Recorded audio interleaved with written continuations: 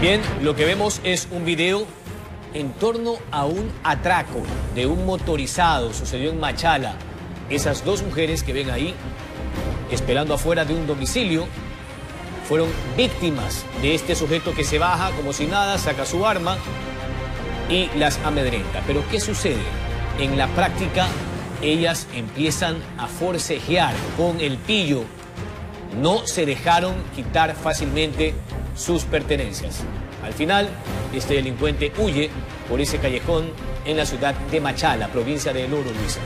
Así es, como vemos, Jorge, el crimen organizado, la delincuencia, están a la orden del día en todas las ciudades y provincias del país. Y por supuesto, en el sur del país, en el oro, la situación eh, también es muy delicada y difícil. Pero ahí están estas dos valientes mujeres que se enfrentan a estos delincuentes, exponiendo sus vidas, porque realmente eh, en un momento como ese donde la adrenalina fluye también para aquel que está cometiendo este tipo de delitos, cualquier cosa puede suceder. Se le puede ir un tiro, se le puede ir un tiro a este sujeto, pero allí vemos que luego del forcejeo, al final logra escapar.